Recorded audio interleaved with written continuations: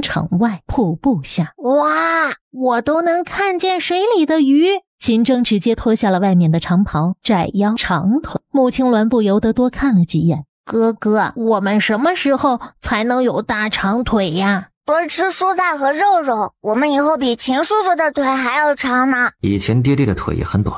别着急，再过几年就长长了。余光看向了穆青鸾，他险些鼻血飞出来。只见秦叔叔，你不是要教我们游水吗？秦叔叔游水是不是特别厉害？我娘也很厉害。爹爹知道你们娘亲厉害，他决定了，他最好还是藏拙一些。他稍后作弊，让让他。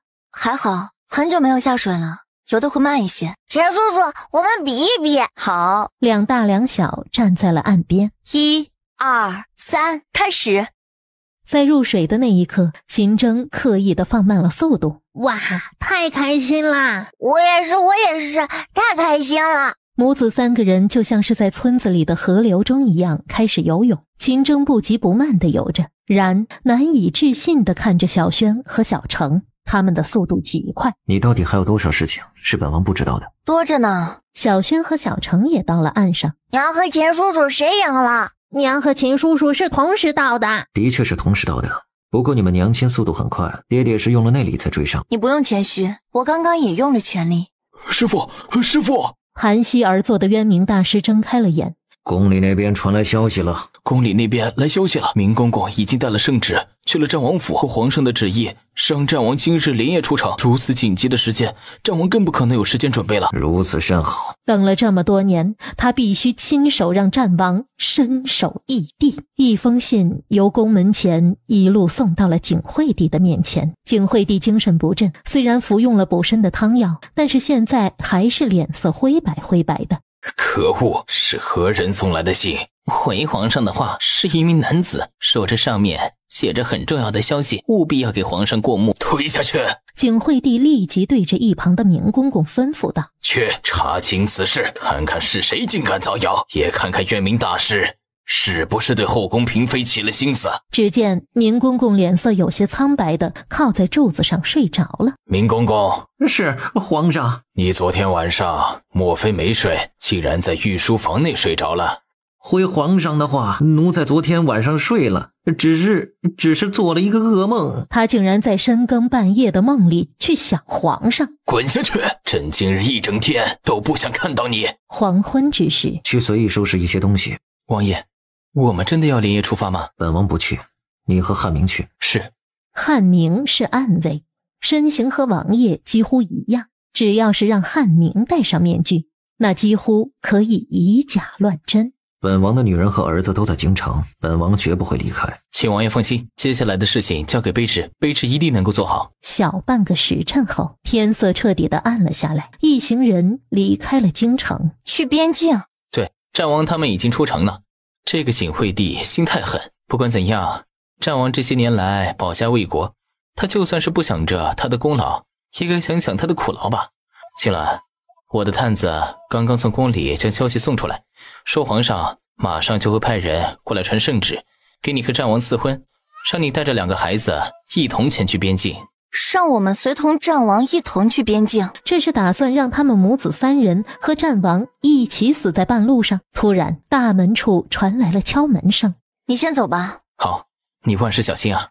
看到穆青鸾之后，工人就直接宣读了圣旨：景惠帝赐婚了，不想让战王路上思念老婆孩子，所以让穆青鸾带着两个孩子，明日一早。天亮就出发，莫尔小姐，快接旨吧！咱家就在莫尔小姐府门外，明日一早护送莫尔小姐出宫，然后咱家再回宫。民女接旨。宁郡王府，不可能！皇上怎么会突然就给战王赐婚？哥，战王不是已经启程去边境了吗？战王的确启程去了边境，但赐婚的旨意也的确是在刚刚下达。哥，这一路漫漫岁月，他们岂不是会更……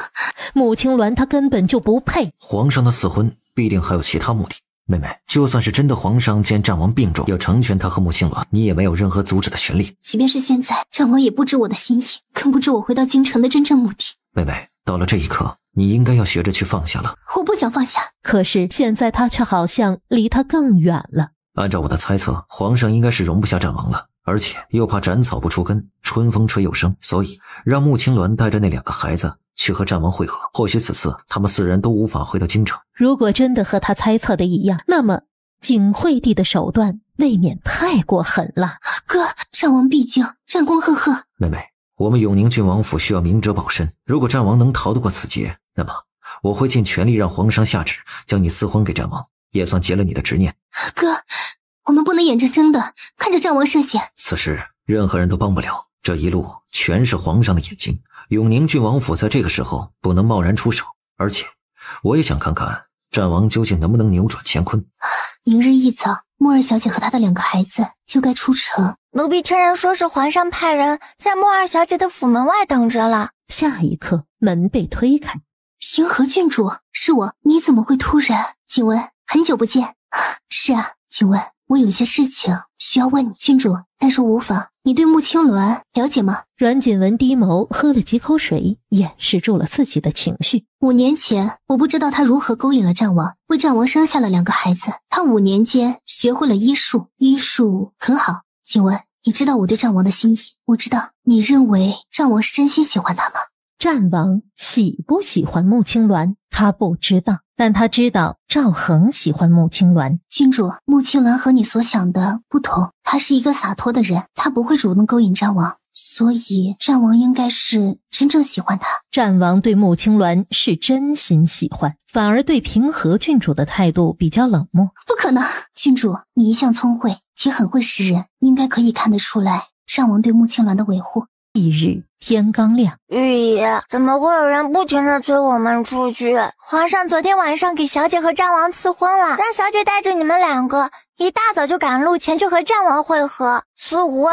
穆青鸾走了出来，用了早膳，我们就启程出城。一个时辰后，一辆马车出了京城，一路上马车晃晃荡荡。小姐，他们为什么要带我们走小路？小路的路也太不平了吧？此路是一条近路。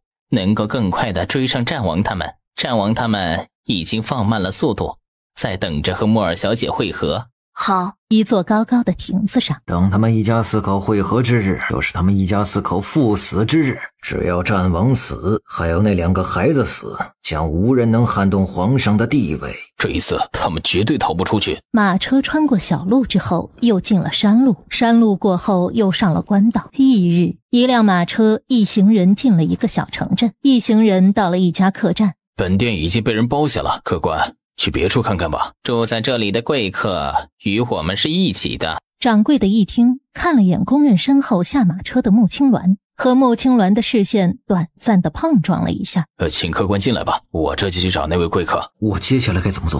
嘿嘿，别怕别怕，莫尔小姐又不会吃人，你怕什么？莫尔小姐不会吃人，但是王爷会打人呢。暂时别露馅，王爷没出现，你就还是战王。平日里王爷怎么对二小姐的？我想想，嗯，就是只要莫尔小姐出现。眼睛就一直盯着莫尔小姐看。门外传来了工人的禀报：战王，莫尔小姐到了，客栈也已经准备早膳了，请战王下去和莫尔小姐一同用早膳吧。接下来就全靠你了，我相信你能够摆平，千万不要让皇上的人看出破绽。我恨不得接杀人的活，也不想干这活。客栈一楼内，秦叔叔，秦叔叔，嗯，路上辛苦了。这秦叔叔怎么感觉有些怪？今天的秦征有些古怪。坐莫尔小姐对面。这一路辛苦了，还好不辛苦，用早膳吧。战王，早膳过后，我们就要立即赶路了。如果战王身体不舒服的话，现在可以让御医或者是莫二小姐给战王看一看。回家。今日不休息一天？昨天一大早我们就赶路，一直到天黑，这一夜小姐都没有休息好。的确如此，休息一日，明日启程。工人紧锁着眉头，拿出了圣旨。皇上有令。事关百姓苍生，玩笑不得，也耽误不得，必须尽快赶到边境。这是皇上的旨意。皇上连休息的时间都不给我们，催着我们赶路。我差点以为半路有什么鸿门宴在等着我们。不过这怎么可能呢？皇上爱民如子，更何况战王是皇上的七弟。皇上对其他人无情，但是对战王肯定不会。一个时辰后，峡谷下，两辆马车在迅速的行驶着。突然，一行人停了下来。路上发生了泥石流，战王，我们只能更换另外一条路了。娘，我们不能改路，娘都知道，放心吧。另外一条路，湖岸啊，好，哥哥，我们为什么不能改路啊？另外一条路有危险，我能感知的。王爷说了，改路吧。战王英明。马车缓缓慢慢。另外一条路竟然是一条蜿蜒陡峭的山路。突然，糟糕，这路怎么又被堵住了？不行不行，我们必须重新下山。而穆青鸾又掀开了马车帘子。此时天色渐暗，这种路最不适合下山了，很容易车倒人翻。娘，有人在这里设下煞局。小轩又直接在马车上画了个符。娘，我要去秦叔叔的马车上停车。小轩，你怎么会来？你们不要说话，我们附近有煞局哦，是想要我们在这里迷失心智。说完之后，就在马车里面画上了符。小轩，你太厉害了！小轩厉害，你不是秦叔叔，本王就是你的秦叔叔。救命啊！王爷怎么还不来？秦叔叔从来不会在我们面前自称本王哦，秦叔叔都是自称爹爹的。小雪，让你猜到了。那钱叔叔在哪里？凌云正要回答时，马车突然猛地再一次停了下来。啊！不要啊！滚开！凌云立即掀开马车帘子看去，赫然见到一名侍卫直接跳下了一旁的山坡。再一看，其他人有些神志不清了。山间有魔杖，吞药。刚把解药服下去，黑压压的箭矢先一步落在了那些工人和侍卫的身上。当箭矢落在了马车上时，马车就像是突然有了铜墙铁壁，将所有的箭矢都给挡住了。别怕，这点乱七八糟的东西伤不了我们。小姐，那那小轩怎么办？那辆马车和我们的一样，放心吧。漫天的箭矢停止之后，与此同时，耳边还传来了马车掉落山坡时的剧烈响声。他掀开马车帘子向外看去，赫然见到和他马车一样的马车滚落悬崖。紧接着又是一辆秦叔叔，秦叔叔，有本王在，绝对不会让你们有事。几日之后，京城得到了战王和穆青鸾半路被山匪拦截，二人马车跌落山坡，一家四口惨死的消息。皇上，这一天我们已等很久了。拦路石本就应该都除掉，而且这颗拦路石直接堵在了朕的心口，如今除掉了。朕总算是舒畅了，恭喜皇上，贺喜皇上，去领赏吧。是。而景惠帝盯着明公公瘦弱的身形，心底那些稀奇古怪的想法一下又冒了出来，似乎明公公比后宫的妃嫔看上去更妖娆一些。嬴政，你是朕的手下败将。工人来报，渊明大师求见。渊明大师竟然敢碰他的女人，皇上。嗯，渊明大师心里忽然咯噔一声，景惠帝这是对他动了杀念，因为他没有什么利用价值了。渐渐的，还露出了几分惊骇之色。这不可能，这绝对不可能！什么不可能？渊明大师在朕的面前无需隐藏。渊明大师却猛地退后了一步，一不小心还跌倒在了地上。到底怎么回事？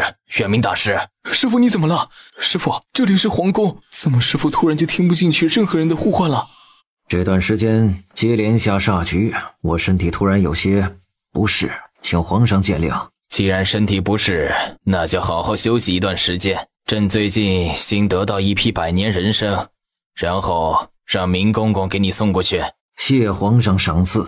一个月后，一名暗卫出现在了景惠帝的面前。什么？卑职等人查了整整一个月，可以确定战王生前所拥有的一切全都消失了，只剩下了一个战王府。但战王府内只有几名老仆，对战王府的事情一无所知。可恶！朕问的是兵符，战王府内是否全都翻遍了？上上下下全都翻遍了，没有任何兵符的影子。说不定是战王随身携带着，可战王和莫尔小姐他们的马车跌落山坡，又掉在了河流之中，之后就完全没了踪迹。找，派人去河流中找。是。与此同时，一行几人骑着马儿来到了路边的茶棚。哎，客官，需要吃一些凉糕吗？凉糕都是小老儿自己做的。我要吃，老爷爷，我们都要吃。好，好，好，小老儿这就去拿。这时，一只信鸽突然飞来，看到上面的消息之后，静默了一瞬，然后。看向了一旁的秦章，不过这一看，他险些笑喷。有消息了，少爷，要不咱们在路上洗洗脸吧？不必洗脸，现在这样正好。今日路上，劫匪看到了都吓跑。一旁的凌云险些将口中的凉茶给笑喷出去，因为王爷昨天之前戴的人皮面具特别的俊美，一路上总是吸引了不少的姑娘，甚至是还遭遇过女劫匪想要劫走他们的情况。原本想要叫秦叔叔爹爹的，但是我现在叫不出口了。唉，我和哥哥考察了秦叔叔一个月，认为可以认秦叔叔做爹爹了。但是，嗯，我现在嗯叫不出口呀。好，爹地答应你们，稍后就换一张皮。这时，一名骑着马的黑衣人从不远处而来，来到了凌云的面前，耳语了几句之后，迅速的离开。少爷，家里那边来消息了，说是家里被人动了。又有很多人不安分，得知少爷云游四海后，这些人更是猖狂，甚至想要一举将曾经得不到的都给抢走。这一个月以来，他们一起云游四海，也将他体内的灵虫血蛊彻底的给控制住了。你什么时候回去？和你一起回，其他的事情不重要，而且拖的时间越久，对本王也越有利。莫要担心。谁担心你了？时间转瞬即逝，西凤国京城内，请进。门被推开，邱爷爷，邱爷爷。哎呦，两个大宝，你们都长高了。邱爷爷几个月不见你们，想的心肝疼。我当然想邱爷爷了，我想邱爷爷想的都睡不着觉了。哈哈哈，你们两个小家伙呀，不愧是邱爷爷放在心里的心肝大宝贝儿啊！此时此刻的邱爷爷，看上去就像是一个慈眉善目的普通老人一样。邱爷爷手里的人命没有一万。也有九千仇人遍天下。秋老，你怎么？秋老，就是你想要娶青鸾？是，我要娶她。秋老的眼神更锋利了一些。秋老，你先跟我走一趟，让他们先去落脚处休息。小香和小程交给你了，放心。马车里，秋老简单的说明了一下情况，听闻是给苏老太爷治病时。穆青鸾有些意外，知道苏老太爷还是几个月前因为苏若儿的关系。苏老太爷曾经救过我，想当年苏老太爷是何等风光的人物啊！唉，如今造化弄人呐！您回来了，快请进。老太爷现在应该正在休息。青鸾，跟我来吧。嗯，很快。我听秋老说你医术高超，我求你一定要救好曾祖父。我们已经失去了祖父、父亲，还有哥哥。不能再失去曾祖父了。放心吧，我会尽我所能的，不要担心。对不起啊，吓到你了。我平日不是这样子的，因为亲人而情绪不受控制，这种感觉我很明白的。眼前的苏晴儿和苏若儿其实长相有两三分相似，但却给人的感觉全然不同。是小秋来了，是我，苏老太爷。我之前对你说的人，现在已经到了。我这身体我自己明白，小秋。哎，请贵客进来吧。曾祖父，穆青鸾也快步走了进去。苏晴儿已经扶起了苏老太爷，给苏老太爷拍着背。等一下，不要拍，我来看看。穆青鸾拿出了银针。苏小姐，请在门外等候。啊，好。穆青鸾立即脱掉了苏老太爷的上衣，接着。穆青鸾速度而利落的在苏老太爷的身上的几个穴位上刺去，苏老太爷的情况有所好转之后，谢谢你，孩子。不用客气啊，苏老太爷。想不到小一辈的年轻人竟然能有如此高超的医术。这回说老太爷相信我说的话了吧？只要有他在，苏老太爷一定会没事的。苏老太爷淡笑着摇头。我知道自己的身体情况，其实已经坚持不了多久了。小秋，就求你帮我这个老头子一次。哎呀，我这条命都是您救的，什么求不求的，只要是您想让我去做的，我一定会去做。苏老太爷忽然眯起了双眼。曾祖父，曾祖父没事，别担心。谢谢你。太谢谢了！我刚刚其实只是制止住了苏老太爷咳嗽的症状。苏老太爷身体内的毒素积压许久，现在必须用特殊的方法，让苏老太爷体内的毒尽快的排掉。什么中毒？原本可以隐瞒一时，没想到罢了。曾祖父活到这个年纪已经足够了，青儿啊，别担心。不要，曾祖父，不要离开我们。等曾祖父去了。你们便一起离开京城吧。救不了，秋老，我没说不能救，真的可以试一试。苏老太爷的毒可以解，你真的能救曾祖父吗？我用的不是寻常的方法，需要苏老太爷以及整个苏家保密。好，你放心，我们绝对不会将有关于你的事情说出去。我相信苏家，让苏晴儿和秋老出去等待。他在苏老太爷惊诧的目光之下，开始抽血一系列的化验。你们可以进来了。邱老和苏晴儿闻声立即走了进去。此刻的苏老太爷好像年轻了二十多岁。曾祖父，只要有你在，我们苏家就不会倒。青鸾，苏老太爷的毒都已经解了，是吗？还没有。难道是还有什么问题吗？我中毒多年，毒素早已经和血液连接在一起，不是一朝一夕可以除掉的。那需要多久才能将曾祖父体内的毒都解了呀？应该需要几日的时间。不过苏老太爷的身体已经被损害，失了不少的元气，需要好好的养养身体，也需要心情顺畅。真的太好了，孩子啊，不，我们该称呼你什么？叫我文清就好。苏老太爷。叫她亲丫头吧，不行，她的医术远远在我这个老头子之上，应该叫师傅，叫青丫头，未免太不尊重。苏老太爷，叫我青丫头吧，我比苏小姐还要年长几岁呢，而且我也有很多的问题是需要请教苏老太爷的。好，好，好，就叫青丫头吧。那我叫你青姐姐，好不好？当然可以啊，我正好没有妹妹，就认下你这个妹妹了。太好了，我又多了一个姐姐。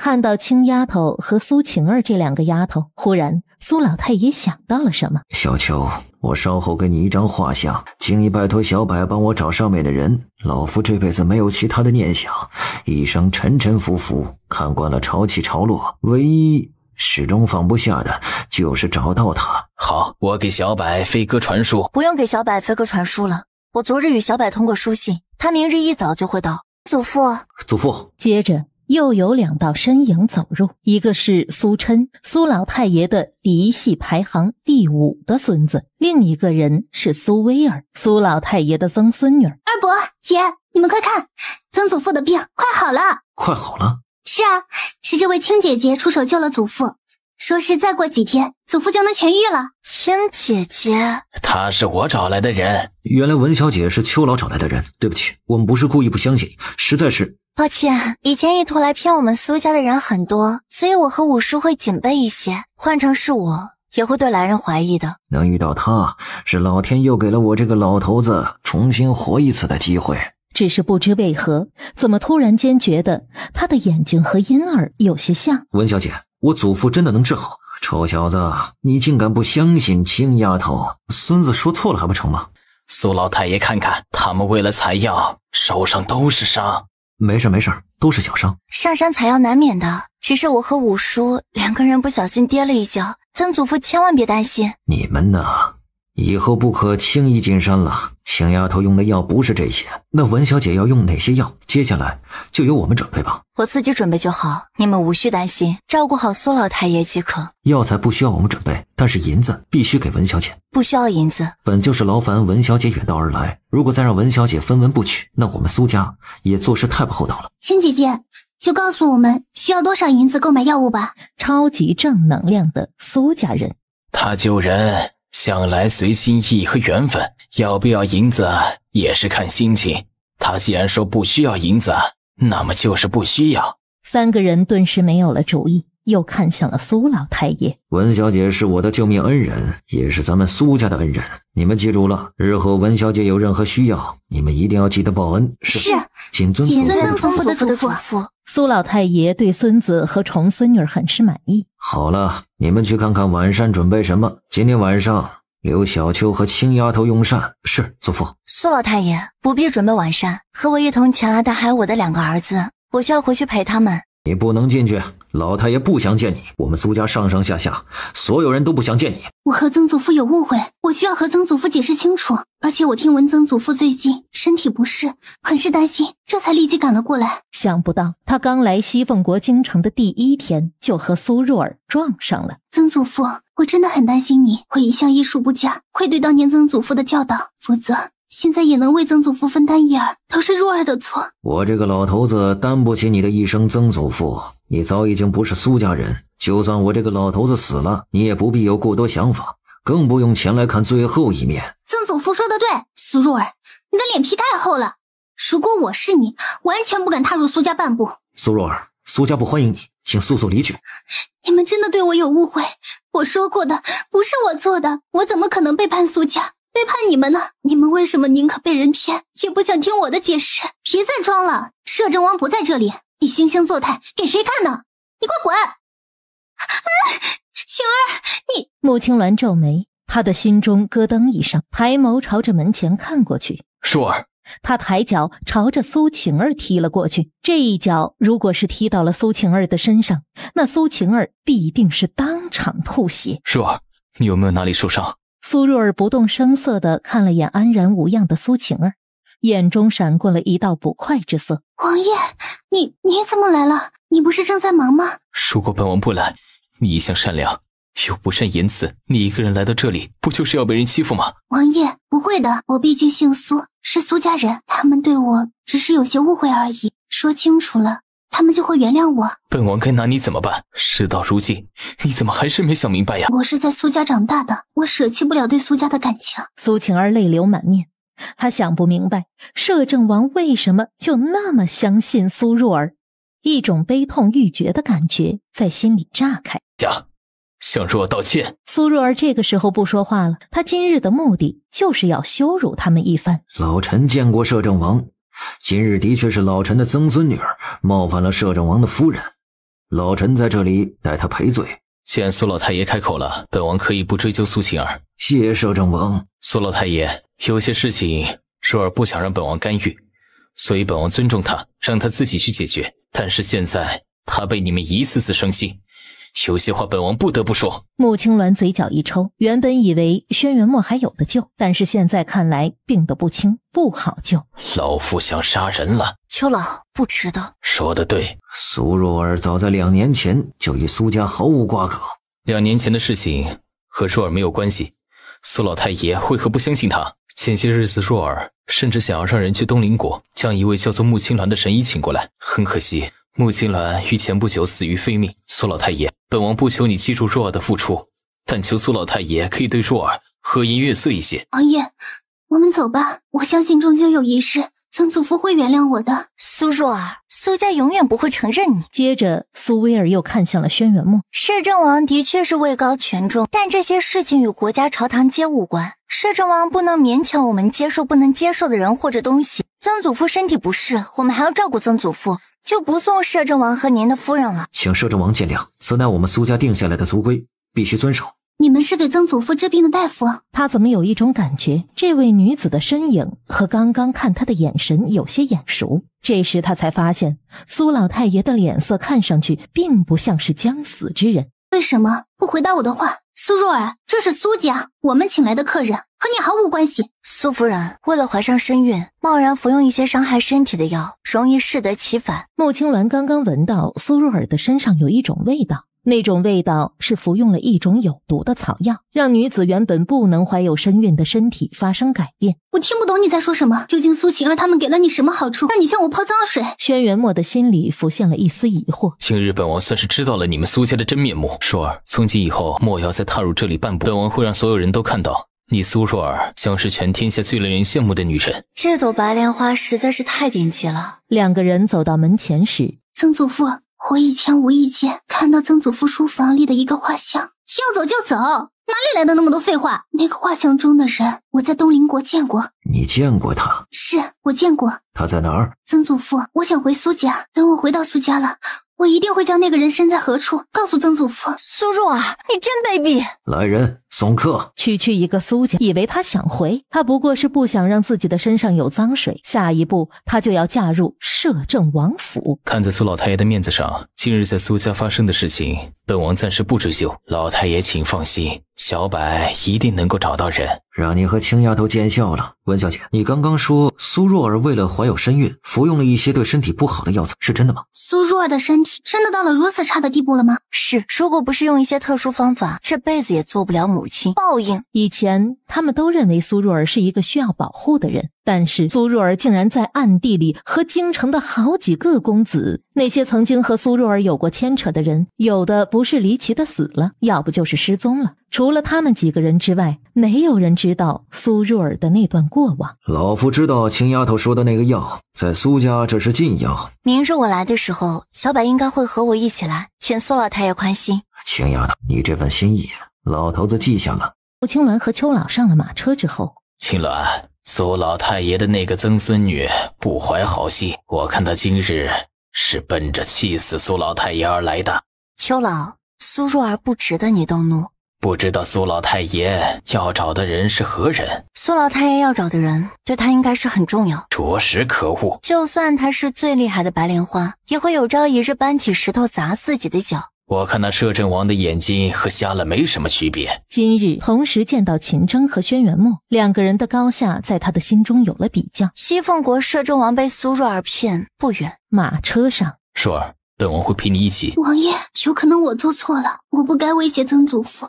为什么别人都有家，唯独我却没了家？硕儿，你的家就是摄政王府，本王今日就会告知三姐，从今以后你就是摄政王府的当家主母。可是君主一直不同意，王爷，我不希望你为了我和郡主起争执。本王绝对不能失去你，三姐会懂的。王爷，此生有你足矣。硕儿，刚刚在苏家时，那名女大夫说你正在服用一种对身体不好的药，这是怎么回事？王爷，我也很想知道，这世上。怎么会有他说的那种药？而且我只要和王爷成亲，为王爷传宗接代，是很自然的事情。为什么一定要想办法坏我的名声？王爷，我有做错什么事情吗？一个被苏家人收买的女大夫，无需在意。天色将暗，马车迅速的到了一座府邸前。秋老的产业遍布天下，嗯，不论到哪里都会有住的地方。原来秋老最富有啊！我的这些黄白之物全都给小轩、小程吧。小轩和小程的富有程度应该和秦征不相上下了。娘，邱爷爷，来来来，快让爷爷抱抱。邱爷爷的胡子都长了。邱爷爷，我路上买了好多礼物，都是送给邱爷爷的。是吗？太期待了。邱老抱着小轩和小程，迅速的朝着里面走过去。苏老太爷的情况如何？你怎么知道我是去见了苏老太爷？我的眼线。能出现在任何我想让他们出现的地方。需要我告知你苏家的事情吗？苏家的事情我已经知道的七七八八。战王是李万基，这点小事儿你没必要亲口对我说。秦征俯身更近了一步。你知不知道你能让我神志不受控？穆青鸾的耳根更红了。你离我远点迅速的离开。刚刚得到了一个消息，哦，李将军又战败了，东林国丢了一个城池。李将军率领的将士都是边境一些没怎么上过战场的士兵。北海国那边有什么异动？北海国现在对东邻国虎视眈眈，大有攻占东邻国之势。现在东邻国的情势很危险，但是根据探子来报，景惠帝并没有察觉到什么危险。毕竟。东邻国物产丰富，是其他的国家无法相比的。这盘棋还在下，等是王爷。晚膳时，飘着食物的香气的餐桌前，小轩给秋老夹菜。哈哈哈！哎呀，谢谢小轩，谢谢小程，你们真是爷爷的心头宝。老夫听说战王这几年认为穆娇宁和穆娇宁生的孩子才是你要找的人。的确有此事，能被人欺骗。就说明战王识人不清。秋老，王爷是有苦衷的，而且穆娇宁拿了信物，所以才会被王爷认错。此事的确是本王疏忽。当时在他的眼里，那天晚上的女人是谁都没有什么区别。看来你知道自己错在何处了，那就好。就在这时，小轩忽然脸色一变，立即闭上了眼睛。哥哥，哥哥，你怎么了？小轩，哎呀，小轩，怎么突然就脸白成这个样子？娘。我没事。小轩没睁开眼睛，他小小的额头上有了一层小小的细汗。穆青鸾的心彻底的提了起来。小轩这是怎么了？刚才还和秋老说说笑笑呢。小姐，这可怎么办？莫急，小轩说没事，等上片刻。到底怎么回事？我也不知道。小轩不是生病，也不是身体的原因，他无从得知小轩究竟是怎么了。过了一刻钟左右的时间，小轩睁开眼睛了。一把抱住了身边的秋老，小轩怎么了？告诉爷爷。小轩有什么事情要告诉娘，有娘在，不论什么事情都可以解决。紧接着，穆青鸾从秋老那里将小轩抱了过来。小轩，但是下一刻，小轩从穆青鸾的怀中挣脱出来，又重新回到了秋老的怀中。这是怎么了？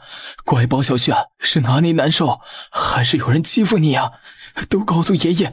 爷爷把你打回去，小轩别怕啊，娘在这里。爹爹也在，别怕。是什么事情？说吧。忽然脑中灵光一闪，心里咯噔一下，意识到了什么，立即看向了秋老。再看小轩紧紧抱着秋老的样子，就好像秋老要离开他一样。爷爷带你去买玩具吧。这几天爷爷逛街，看到了不少卖玩具的店铺，那小东西做的一个比一个精致好玩。哥哥。你哭的我也想哭了。忽然，秋老懂了。小轩呐，人都有死。爷爷我这辈子经历甚多，现在都已经看开了。要说有什么舍不得的，就只有你和小成。不过你和小成两个有青鸾照顾，如今又有了爹爹，有他们在，爷爷什么都不用担心。小轩，你是不是感觉到了什么？知道爷爷不久将会离开人世？不要。我不要求爷爷离开我们，我不要。秋老就在这里，怎么可能离开我们呢？小轩，爷爷这辈子做了很多错事，也该为这些错事付出一些代价了。邱爷爷过几天会有一个大劫难，大劫难我让秋爷爷在劫难逃，我帮秋爷爷改运，但是改不了。因为这是这是周爷爷的死劫，本来就是我的命，何须让小轩为我逆天改命？人活一世，这死是在所难免的。我不想让九老有事。还有让我不放心的人就是你，美月。小白对你一片真心，他是可以托付终身之人。男人更了解男人，听我的话，答应了小白吧。不要，我就要秋老好好活着。你就在家里待着，哪里都不去，好不好？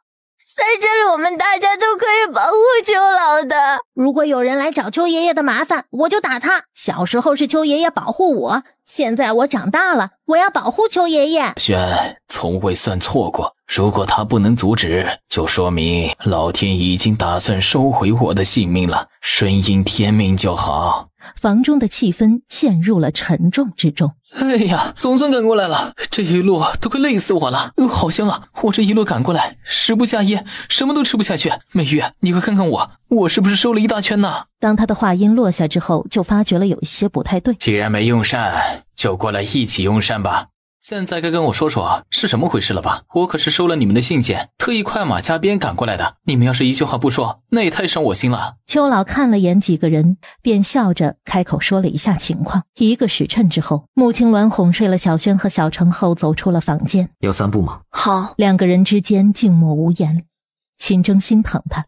即使是他没说，他也很清楚，他将秋老看作亲人，而现在他明知道亲人即将遇到危险，甚至是会付出性命的代价，而他却无法改变这一结果。今天晚上的月亮很圆，是啊，很美。相信我，我会陪着你和小轩、小程一直走到最后。知道有一日秋老会离开我们，但是我从未想过这一世会如此的快，而且明知道会有危险，却无法扭转。秋老已经坦然面对一切，青鸾。嗯，是啊。凌云得到一个有关于轩辕科的消息，想知道吗？他现在如何？西凤国摄政王带着苏若儿，告知轩辕科他们即将大婚，轩辕科意图阻止，用他搬离摄政王府威胁西凤国摄政王，但只是徒劳。西凤国摄政王宁可不要亲姐，也要苏若儿。为了苏若儿，西凤国摄政王竟然要将轩辕科撵出家？看样子是的。渣男，狗男人，为了一个白莲花。将身边唯一的亲人都给撵出去，这轩辕墨的脑子是不是被门夹坏了？过两日我找机会去见轩辕科一面，你帮我安排吧。好，交给我。摄政王府，我这个姐姐竟然还没有一个表里不一的女人重要。轩辕墨啊，轩辕墨，我怎么会有你这种弟弟？请郡主不要生气了，王爷只是让郡主接受苏小姐啊。郡主，其实苏小姐为人还不错，照顾王爷也把王爷照顾得很好。郡主不如成全王爷和苏小姐吧。滚！你们所有人都给我滚出去！下人们吓了一大跳，顿时不敢上前。郡主，我可以进来吗？滚！郡主，对不起，我不是故意要加入摄政王府的，我已经阻止了王爷，但是王爷根本就不听我的话，所以请郡主不要再误会我了。郡主还是开门让我进去吧，有什么话我们当面说好吗？轩辕科脸色铁青，但是理智让他清醒下来，任何时候都要保持冷静。好啊，来，让我看看。你想怎么好好沟通，郡主？你真的想明白了吗？真的会接受我吗？苏若儿看到轩辕科好像开始控制不住生气了。我知道，郡主以前针对我，是对我有误解，认为我配不上王爷。只是王爷待我极好，我就算是不想伤害郡主，也只能如此。因为我更不想伤害王爷，我深爱王爷，想要和王爷白首偕老。郡主如果能成全我们，日后我一定会好好尊重郡主。这些都是我的真心话。说完了，郡主有哪些不满意吗？我一时情急，很容易说错话。如果又让郡主不开心了，请郡主一定不要在意。姐，你到底还想做什么？若儿都已经做到这种地步了，你难道还不满意吗？轩辕柯气结，刚要骂轩辕墨，又生生的压下了这股火。现在他忍。王爷，是我太不讨喜，也是我刚刚说的话让郡主不喜欢。郡主没有错，是我的错。傻若为什么要过来？有些话由本王和三姐说。这个傻丫头，为了让他不为难，竟然什么都想自己解决。三姐，如果你要离开。我不阻止你，但是摄政王府永远是你的家。只希望三姐有朝一日想明白之后能够回来。你一个人在外，我无法对列祖列宗交代。苏若儿暗自得意，听了这些话，轩辕科肯定会忍不住连轩辕墨一起骂，然后再愤然离开。谁说我要走了？这是我家，即便要走，也该是你们。有事继续说，没事就离开。我要休息了。看着门在眼前关上了。苏若儿心中大惊，这和她刚刚所想的相差十万八千里。若儿，三姐不走了，你可以放心了。郡主不走，我就放心了。该死，一定是轩辕客突然变聪明了。既然如此，那他也要改变策略了。翌日，前去苏家的路上，看样子苏老太爷如果没有遇到你，就活不了多久了。嗯，大概只能再活半个月吧。苏老太爷三番两次的想要见我。这找的人肯定非比寻常，又或者是对他很重要的人。对苏老太而言，一定是非常重要。你用心帮着找吧。当然。哎呀，西凤国的京城真是一片繁华。片刻之后，到了苏家。苏家门前，有人坐在门前嚎啕大哭。我看看去。穆青鸾站在马车旁观察着情况。昨天苏家门前凋零，今天竟然围上了人，而且叽叽喳喳。听着着实让人心烦，怎么回事？关于苏琛，苏琛，苏琛看上去是一个很严谨的人，能出什么事儿？有一个大肚子女子跪在门前，说她的肚子是苏琛搞大的。怎么看苏琛都不像是轻易搞大女人肚子的人。马车走到了苏家后门，正当他们要敲门时，门开了。曾祖父说：“你们看到正门的情况后，一定会来后门。”青姐姐，快进！你就是曾祖父要见的小百公子吧？是我。青姐姐，小百公子，快进来吧，曾祖父正在等你们呢。至于正门那边的情况，等进来之后，我再和你们说。从后门进入了苏家之后，他们这是想要气死曾祖父。如今苏家落难了，这些对苏家议论纷纷的人中，有不少是曾祖父救过的人。无需在意，因果报应。苍天不会放过任何一个人。星云姐姐说的对。在进入苏老太爷的房间时，那女子的嚎啕大哭声一声高过一声。今日怕是无法让文小姐和小百公子耳根子清净了。二叔，我出去解决此事吧。如此吵吵闹闹，惊扰曾祖父休息。姐，不要去。曾祖父说了，清者自清。你一个人怎么可能说得过一群人？穆青鸾看着苏老太爷微微灰白的脸色，比昨日糟糕了。小百公子。多年未见，是啊，多年未见苏老太爷了。苏老太爷还是和多年前一样啊。曾祖父以前和小百公子见过吗？只匆匆见过一面。原来是这样啊。青姐姐和小百公子早就认识了吗？我和你亲姐姐的关系如同拜把子兄弟。穆青鸾无语，瞪了小百一眼，让他适可而止。外面那些人疯了，拿着大柱子撞门。我去看一看，你们都留在这里，站住！他们人多势众。就是为了要见你，说不定要趁乱时要你的性命。你如今是苏家唯一的子嗣，你不能出事。他们现在越来越过府大门年久失修，他们很快就能将门撞坏。现在该怎么办？不能让他们闯进来呀！外面有巡逻的官兵，他们肯定已经听到声响了。但为什么迟迟不去制止那些人？这件事简单，交给我吧。我从后门出去，苏老太爷先治病，等解决了外面那些人，我再回来。等等，小百公子，外面那些人。应该不是普通的百姓，你贸然出去，岂不是有危险？他们绝对不会听你讲道理。我像是讲道理的人吗？不到半个时辰，大门外的撞击的声音停止了。百公子是用了什么方法，让那些人不再撞击大门？这点小事对他而言不是什么大事，举手之劳而已。小白公子用的方法，你们都不会用。那些闹事的人都走了，真的太好了，这下曾祖父就可以安心的治病了。你们先在外面等，半个时辰之后我就会出去，你们就能进来再看苏老太爷了。好，辛苦青丫头了。很快，小柏就回来了。小柏公子，你刚出去没多少时间，那些闹事的人竟然就都走了。冒昧问一句，小柏公子是用了什么方法？感谢。小柏摇了摇扇子，哈哈的大笑了几声，然后才说了一下刚才处理那些人的经过。那么多人，小柏公子一定用了很多的银子，等日后我们苏家会还给小柏公子。不用还，是小柏公子出面帮我们解决了这些麻烦事。苏晴儿不由得多看了几眼小柏。实话告诉你们，我的银子啊可不是什么人都能拿走的。他们想拿我的银子啊，除非死。那小柏公子刚刚给他们的，给他们的是假银票。他们如果拿着假银票去兑换银子。一定会被当做贼人送入大牢。他们发现是假银票以后，会不会还会回来？姐，他们没有机会回来了。拿到银票以后，肯定都迫不及待的想要去兑换银子。西凤国律法一律不准私印假银票。小百公子，你太厉害了！片刻之后，已经好了，现在你们可以进去了。在三个人一边说谢一边进去之后，是不是苏老太爷的情况？有些不太妙，我怀疑苏家有内鬼。苏老太爷和昨天一样，体内的毒素又加深了。放眼看去，能够留在落魄的苏家当中，说明都对苏家重情重义，也被苏家人信任。我来查查，即便残忍，也必须是他们自己去面对。青姐姐，曾祖父是不是过两天就能彻底好起来了？苏家内有内鬼，苏老太爷体内毒素又加深了，说明从昨天到现在，有人给苏老太爷又下。祖父，这件事交给我，我一定要查到此人是谁。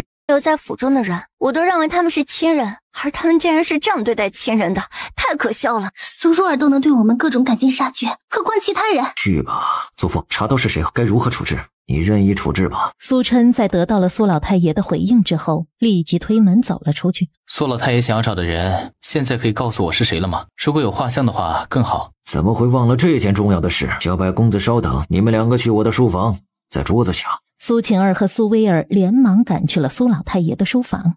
苏老太爷找的这个人是何人？信息越多，我能找得更快。我要找的人是我的女儿。接着，苏老太爷就将那些封锁在他记忆当中的过去缓缓地说了出来。将画像给我。苏晴儿将手上的画像立即塞了过去。刚刚她的声音真的好酥柔，但是当画卷展开之后。这他长得和我年轻时十分像。穆青鸾和小柏相视了一眼，二人微微蹙着眉头。怎么了？苏威尔和苏晴儿已经哭得不能开口了。哎，女人呐，就是心太软。他只能将画转过来让苏老太爷看。怎么会这样？前几天还好端端的。这画像看上去应该是这两天被毁的。画像的脸部被水给泡了，偏偏其他的地方是好的。这一看便知是有人故意而为之。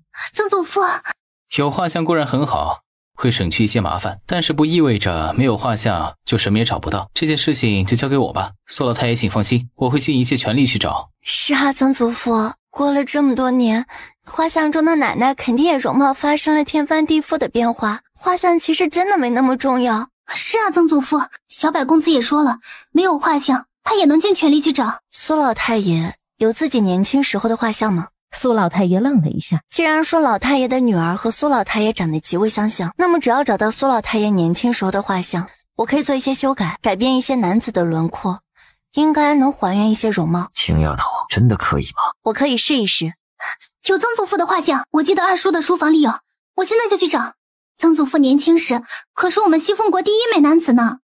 摄政王府内，一名下人鬼鬼祟祟的前去见了正准备大婚所用东西的苏若儿，低声禀报了几句之后，便迅速的离开了。如今他们还敢小瞧我半分，我绝对不会让苏家再起来。即便我是一个小小的庶，小小的远房亲戚又如何？苏家嫡系的命运是被我捏在手心里。苏家祖父查到是谁了？是谁？是刘伯。我没有打草惊蛇，现在我已经让人盯着他的一举一动了，看看他还能再做出什么事情。好，你来处置吧。那画像也是刘伯损坏的。其实我刚刚猜到了。就在这时，苏威尔和苏晴儿跑回来了，找到了，这几个都是曾祖父的画像。祖父当年不愧是西凤国的第一美男，年轻时候的画像简直没有人能比得了。我来看看，画卷当中的苏老太爷应该是十二三岁时的少年模样，只是。